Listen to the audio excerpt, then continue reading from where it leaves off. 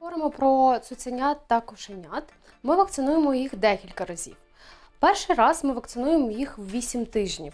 Це від вірусних захворювань. Наступного разу ми будемо вакцинувати їх у 12 місяців. Це вірусні захворювання та зах- захворювання сказ.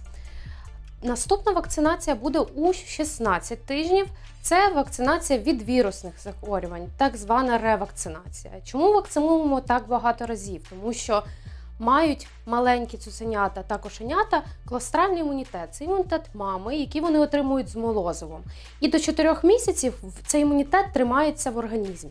Але ми не знаємо, чи достатню кількість молозива отримувало кошеня чи цуценя.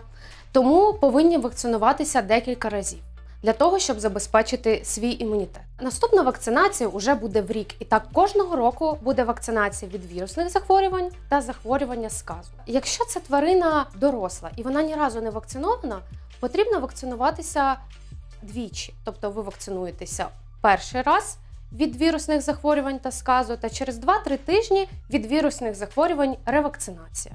І далі кожного року вірусні захворювання та сказ. Також поговоримо з вами про чіпування.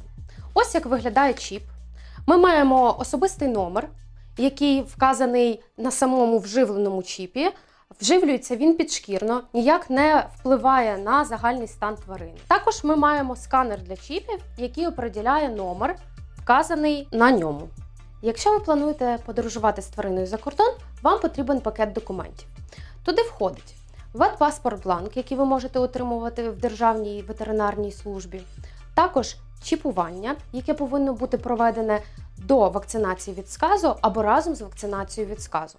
Також повинен бути титр антитіл на сказ, який зазвичай відбирається через місяць від вакцинації від сказу, або не пізніше, ніж через рік від вакцинації від сказу.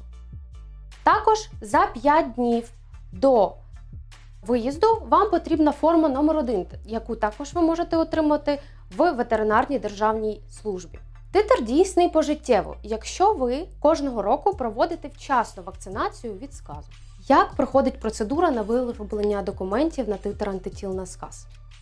Спочатку ви вакцинуєтеся від сказу, через 30 днів приходите на відбір самого аналізу. Та через місяць вам приходить вже сам сертифікат, який ви можете отримувати у нас на реєстратурі. Та ще два місяці ви повинні бути вдома на карантині, адже виїжджати буде не можна. Для того, щоб виїхати за кордон, вам потрібна обробка від екто та ендопаразитів, тобто від бліг та гельмінтів. Це ви можете зробити таблеткою або каплями на холку, залежно від того, який виробник вам подобається. Тільки зробивши ці процедури, ви зможете без перешкод виїхати за кордон.